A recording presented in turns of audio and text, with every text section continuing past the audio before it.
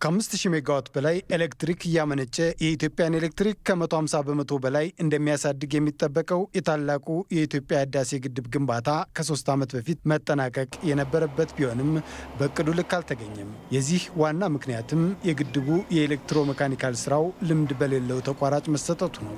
ለመፍረድ አይደለም እንዳልኩኝ አንድን ሰው አቅም ሳይኖረው አቅሙን ሳትገነባ እንደዚህ አይነት complicated የሲቪል ስራ ቢሰጥ ኖሮ ይቀል ነበር። ምክንያቱም የመሽነሪ ስራ ነው። ጥሩ ካምፓኒዎች ቢኖርህ ልታሰራ ትችል ይሆናል፣ በቂ ዲዛይን ካለ፣ ጥሩ ዲዛይነሮች ካሉ። ግን የ electromechanical ስራ የ hydraulic steel structure ስራዎች እኮ complicated ናቸው። በዓለም ላይ ጥቂት ኩባንያዎች ነው specialize ያደረጉት እና ስህተቱ ከመጀመሪያው ነበር። አቅም ሳይገነባ ወደዚህ መገባቱ በመንግስትም ስህተት ነው ነው። እናም ይህን ለማስተካከል ባለፉት ሁለት ዓመታት በዘርፉ የታወቁ ዓለም አቀፍ ድርጅቶች ስራውን እንዲወስዱ ተደርጓል። ይህም ግድቡን እንደገና ወደ ስራ መልሶታል ተብሏል። በዚህ ሁለት ዓመት ውስጥ ያደረግነው እነኚህ ግድቡን ወደ ኋላ ያስቀሩትን ስራዎች ኮንትራት ሰጥተን በኮንትራቱ መሰረት ተመርተው እየተተከሉ ናቸው። በተለይ የቅድመ ኃይል ማመንጫ በግድቡ ውስጥ መተከል የነበረባቸው ብረቶች ተተክለው አሁን ኮንክሪት ስራ ተጀምረዋል።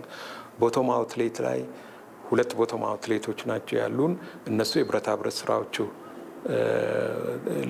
ተሰርተው ለ contractor ኡ ተሰጥተው የኮንክሪት ስራ እየተሰራ ነው። ሌሎቹ ቀሪ 11 unit ኦችም የብረታ ብረት ተከላቸው እየተሰራ ነው። በቅርብ ጊዜ ያው ለ civil contractor ኡ ተሰጥቶ ተከታትሎ ኮንክሪት ያደርጋል። ከዛ በኋላ ግድቡን ያጠናቅቃል።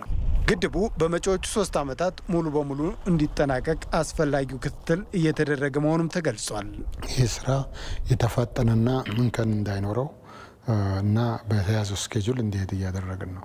ይህን ስራ ለማፍጠን ካስቀመጥነው ፕሮግራም አንዱ ስራውን parallel ማስኬድ subcontractor ኦች በርከት አድርጎ parallel የሚያስኬድ ነው።